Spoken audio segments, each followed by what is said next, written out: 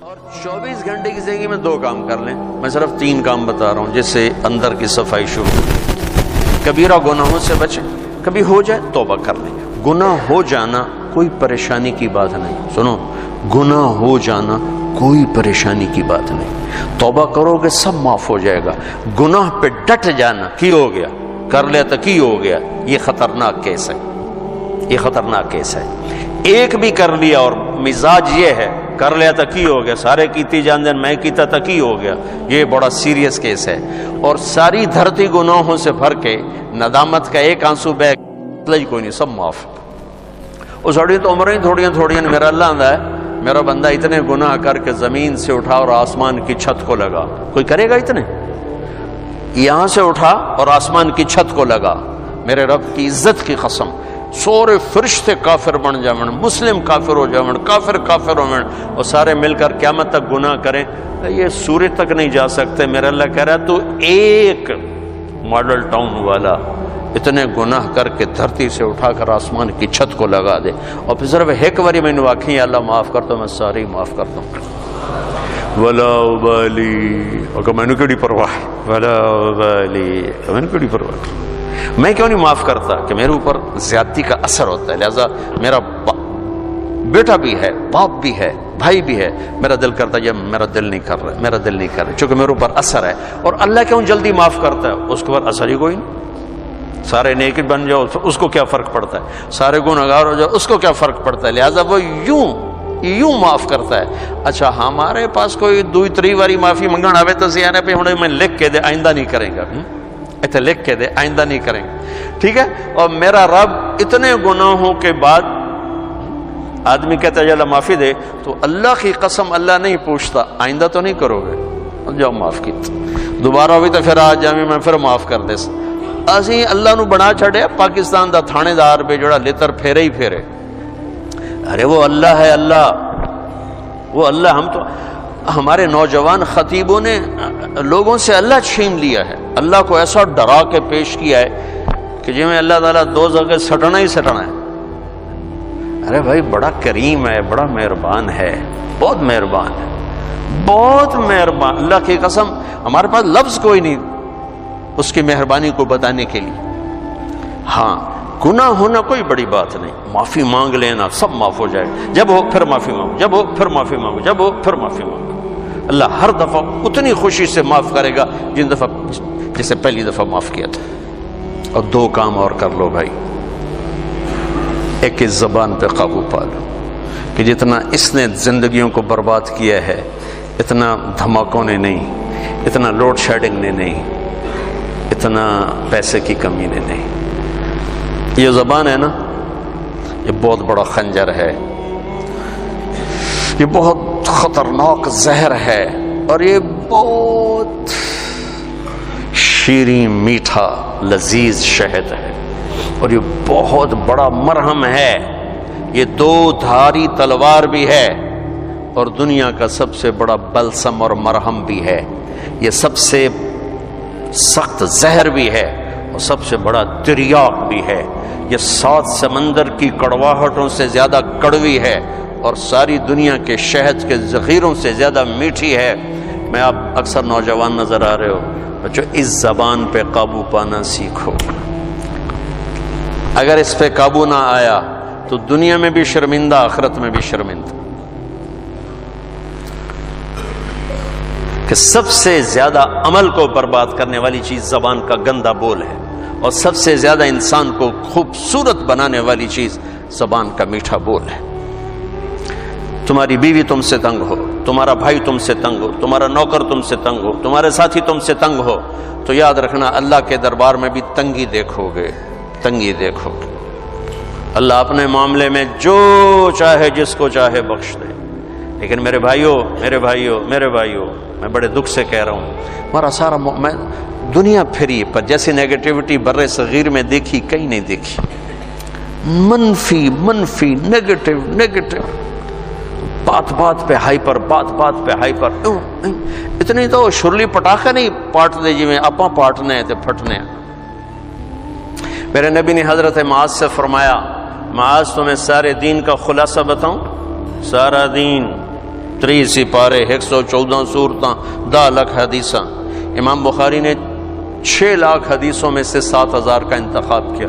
امام مسلم نے چار لاکھ حدیثوں میں سے کچھ سینتالیس سو کا انتخاب کیا۔ دس لاکھ ایک سو چودہ صورتیں، دس لاکھ حدیثیں۔ اے معاذ تو میں دین کا خلاصہ بتاؤں؟ کہا جی ارشاد فرمائیں۔ تو مجھے دیکھو سارے، آپ نے یوں کیا۔ آپ نے فرما معاذ، اس زبان پہ قابو رکھا ایک چھوٹی سی گزارش۔ اس سے گالی نکال دو۔ اس سے لوگوں کو بے عزت کرنا نکال دو۔ یاد رکھو دل ٹوٹ جائے تو کبھی جڑتا نہیں ہے۔ اللہ سے معافی مانگنا اور ہے، بندوں سے معافی مانگنا اور ہے۔ معاف کوئی کر بھی دے نا، دل کا زخم نہیں بھرتا۔ یہ کم وقت اس کو شعراء نے شیشے سے تشبیح دی ہے اور قرآن نے بھی دل کو شیشے سے تشبیح دی ہے۔ قرآن نے بھی۔ مثل نورہ کمشکات فیہا مصباحا۔ المصباح فی زجاجہ۔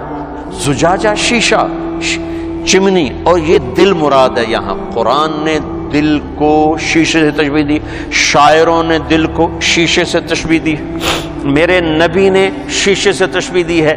میرے بھائیو، یہ کیا ہے؟ پتہ نہیں کیا ہے، اللہ ہی بہتر جانتا ہے۔ لیکن ایک چیز جو میں اس سے جو میرے جی میں آتی ہے کہ شیشے میں ایک عیب ہے، جو کسی دھات میں نہیں۔ یہ ٹوٹ جائے تو جڑتا نہیں۔ یہ ٹوٹ جائے، جڑتا نہیں۔ چپ ہو جاوے گا، جڑے گا نہیں۔ مشرق کی عورت ہے، گھٹ گھٹ کے زندگی گزار دے گی۔ لیکن دل کی محبتیں خرید لو، زبان کی بدتمیزی کے ساتھ یہ کبھی نہیں ہو سکے گا۔ تو دل کا بھی یہی مسئلہ ہے، یہ کم وقت ٹوٹ جائے تو جڑتا نہیں۔ اور اس کو توڑنے والی چیز یہ زبان ہے، اور اسے جوڑنے والی چیز بھی زبان ہے۔ تو ایک آپ سے کہتا ہوں گالیاں دینا بےزت کرنا، ذلیل کرنا، تانے دینا، ٹونٹنگ کرنا، طنز کرنا، غیبت کرنا، برائیاں کرنا، یہ اپنی زندگی سے نکالو گے تو آپ کو اپنے عیب نظر آنے شروع ہو جائیں گے۔ اگر آپ اوروں پہ فوکس رکھو گے، جیسے یہ کیمرہ میری تصویر لے رہا ہے، اپنی نہیں لے سکتا، چونکہ اس نے اپنی آنکھ میروں پر فوکس کر دی، تو اپنی تصویر کبھی نہیں لے سکے۔ تو جو اوروں کے اوپر اپنے فوکس کر دیتے ہیں آنکھیں انہیں اللہ اپنے عیب بھلا دیتا ہے۔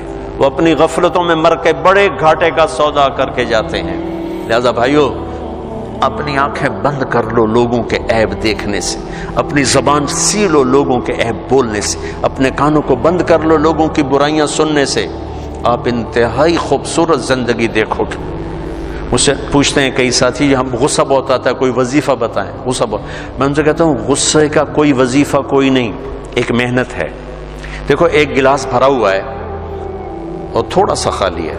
اوپر پانی کے دو چار قطرے ڈلیں گے، وہ بھر کے بہنا شروع ہو جائے گا۔ اور اگر بالکل خالی ہے تو ڈالتے ڈالتے وقت لگے گا، اس کو بہنے میں وقت لگے گا۔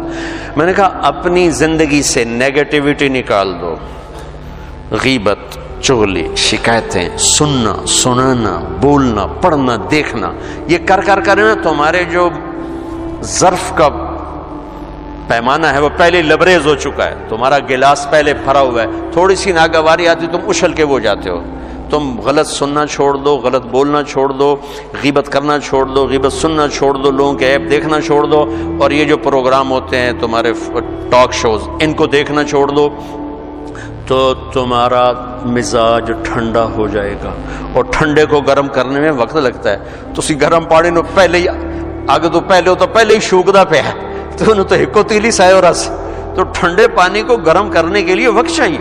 تو ایک میں یہ کہتا ہوں کہ اگر اپنے مزاج کو خوبصورت بنانا ہے، زبان کا بول ٹھیک کرو۔ زبان کا بول ٹھیک۔ کسی سے ہوگی یہ زیادتی ہوتی معافی مانگ لو۔ اور یہ یاد رکھنا کہ یہ جو بار بار کسی کا دل توڑنا ہوتا ہے، وہ شاید معاشرے کے دباؤ میں آ کر چپ ہو جائے، لیکن دل ٹوٹے تو یہ کم وقت جڑتا نہیں۔ لہٰذا اس کو لوگوں کو دل ٹوٹنے سے بچاؤ، اللہ تمہارا دل ٹوٹنے سے بچائے۔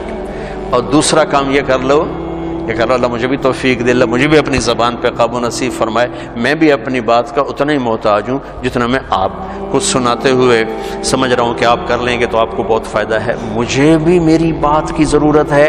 دوسرا کام یہ کر لیں کہ اس دل کو سب کی نفرت سے صاف کر دیں۔ کسی سے بغض نہ ہو، کسی سے نفرت نہ ہو۔ آخری حدیث سنا کے بعد ختم کرتا ہوں میں نے آپ کا تھوڑا سا وقت زیادہ لے لیا ہے، میں آپ سے معافی چاہتا ہوں۔ آپ نے حضرت انس سے فرمایا، میرے بیٹے انس، میں تمہیں اپنی ایک عظیم الشان سنت بتاؤں۔ عظیم الشان، یہ لفظ مجھے یہیں ملا ہے اور کہیں نہیں ملا۔ کہیں نہیں ملا۔ عظیم الشان سنت۔ میرے نبی کی ہر سنت عظیم الشان ہے، لیکن جس کو خود میرا نبی فرمائے کہ یہ میری عظیم الشان سنت ہو کیا چیز ہوگی یہ داڑھی بھی سنت ہے، یہ پگڑی بھی سنت ہے، یہ سفید لباس سنت ہے، سرما سنت ہے، سیدھے ہاتھ سے کھانا لاکھوں سنتیں ہیں، لیکن عظیم الشان سنت ہے میرے بیٹے انس، میری ایک۔ جو میری اس سنت سے پیار کرے گا، مجھ سے پیار کرے گا، جو مجھ سے پیار کرے گا، جنتیں ایسے ہو جائے گا میرے ساتھ۔ میرا پڑوسی میرا پڑوسی، میرا ساتھی۔ کیا ہے کہ میرے بیٹے، ایک کام کرنا۔ ان استطاعت ان تصبح وتمسی وليس في قلبك غش لاحد ففعل۔ میرے بیٹے، صبح شام ساری دنیا کے انسانوں سے اپنے دل کو صاف کرتے رہے۔ ساری دنیا، مسلمان نہیں کہا۔ مسلمان نہیں کہا۔ ساری دنیا سات سو کروڑ انسان کا سب سے دل صاف کر، سب سے دل صاف۔ اس پہ ہوا تم سے اشارہ ہے کہ اس بانڈے پرنا ضرور ہے میلا ضرور ہونا ہے۔ اس کو پھر دھو، اس کو پھر دھو، اس کو پھر دھو۔ انہوں دھوتی جا دھوتی جا دھوتی جا۔ یہاں تک کہ تیرا رب تجھے بلائے تو تیرے دل میں کسی کی نفرت نہ ہو، بغض نہ ہو، حسد نہ ہو، تیری زبان سے کسی کا دل نہ دکھا ہوگا تو بغیر حساب کتاب ہی جنت توڑے وٹتے پئی جو ہم پنجابی میں تو وٹتے پئی۔ جنت وٹتے پئی ہے۔ کبیرہ گناہوں سے بچو، فرائض میں نماز نہ چھوڑو۔ باقی چیزیں تو وقتی ہیں، رمضان بھی وقتی ہے، زکوٰۃ حج مالداروں کے لیے ہے اور چوبیس گھنٹے کی زندگی میں زبان پہ قابو رکھو۔ کبھی ہو جائے، اللہ سے بھی معافی مانگو، جس پر زیادتی ہوگی اس سے معافی مانگو۔ اور دل میں سب کے بغض کو دھو دو، صاف کر دو، صاف کر دو۔ جب آئے، پھر دھو دو۔ جب آئے، پھر دھو دو۔ تو انشاءاللہ اللہ کی بارگاہ میں جائیں گے تو بڑے مزے آ جائیں گے۔ موت ہماری زندگی کا سب سے خوبصورت پیغام بن جائے گا۔ اگر ایسی زندگی ہمیں نصیب ہو گئی، تبلیغ میں جاؤ گے تو یہ چیزیں سیکھنے کو بڑی آسانی سے ملیں گی۔ اللہ ہمیں عمل کی